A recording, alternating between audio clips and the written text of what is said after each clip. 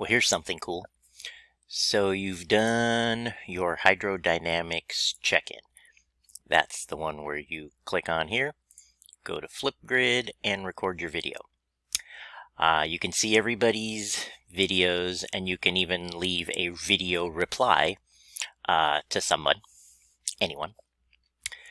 But here's something else you can do. I've had a couple of students here uh, show their solution by recording a Flipgrid video. So let's say you did that.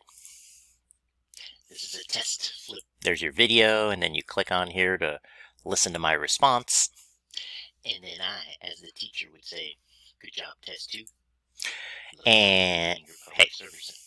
And I, I tell you, um, in most circumstances, great job.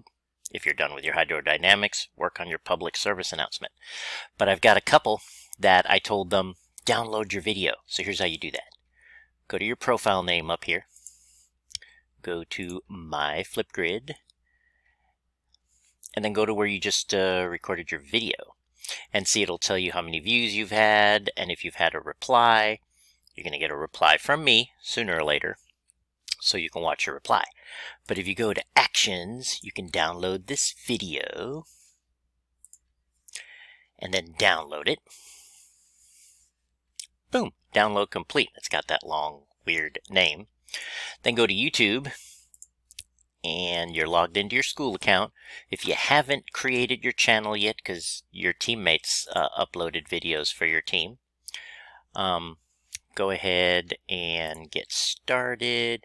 You're going to select your school name because this is your school YouTube channel and it's your school one so you can't make money out of it. It says upload a profile picture or use this one. And you can write about how this is your school account. And you can look at all this stuff here maybe even set up later.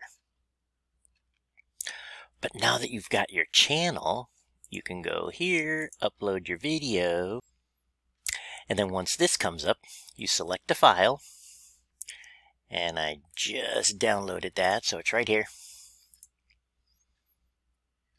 And once it's uploading, you, you want to give it a better title.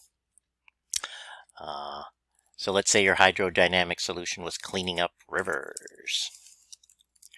You title it that, and then in your description you can write, this is my solution to the problem of trash going from rivers out to the ocean. And you can write as much detail as you want for your description. Uh, and under more options, you can tag it. I usually tag it with education, K-12, science, and then maybe water pollution solution. There, now you've got some tags.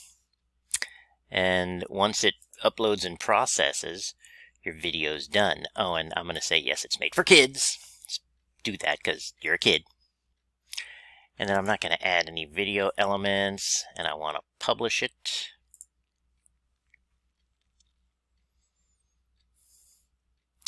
And then once you publish it, click here. There's your link, right? You've got your link. Now you go to your blog, and this is where I was typing my public service announcement. Go where your video is going to go. Put your cursor there, and then click right here. You want to do uh, from YouTube. Paste your link. Search for the video. Boom, there it is. It's that easy to put your video. Save that in preview. And there's your meme.